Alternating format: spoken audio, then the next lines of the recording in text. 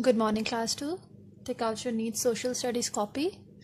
Today we are going to do fill in the blanks and answer questions of lesson number 2, Mr. Raza Ali's day. Before starting your work, write today's date and day. After that, write lesson 2. After writing lesson 2, write lesson's name, Mr. Raza Ali's day.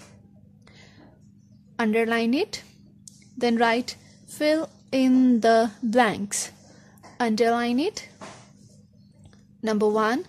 Mr. Raza Ali has dash with his family at 8 pm. So what he has at 8 pm with his family?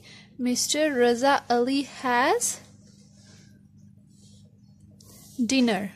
Mr. Raza Ali has dinner with his family. Number two, on dash, Mr. Raza does not go to work.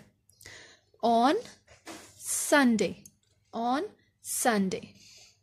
Number three, sometimes they go to a dash. Sometimes they go to a park. Answer these questions you have to underline it. Question number one Where does Mr. Raza Ali work?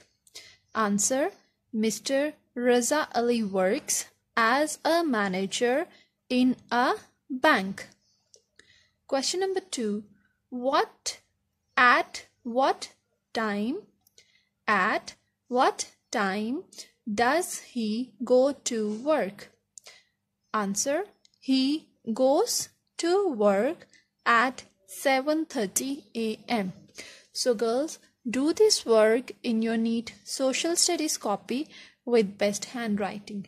And girls, you have to underline blanks with blue color. Thank you.